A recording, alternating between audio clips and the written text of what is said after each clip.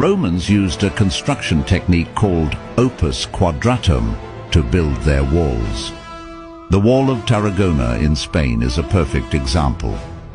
The first three meters were constructed with megaliths, providing excellent foundations and a great resistance against war machines. Measuring about five meters wide, the interior was packed with large stones and earth. The upper part of the wall was built using well-fitted regular ashlars laid without mortar.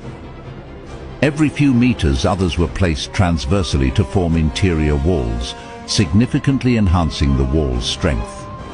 Independent compartments were constructed so that in the event of a breach, the rest of the wall remained protected. The interior was filled with small stones and rubble, which were then covered with layers of adobe. The total height of the wall was 10 to 12 meters, with a width of around 4 meters at the top, allowing enough space for a guard area known as the patrol path. Towers were strategically built at calculated distances, housing soldiers who were sometimes armed with scorpions to defend the wall. The distance between these towers was typically determined by the range of their weapons.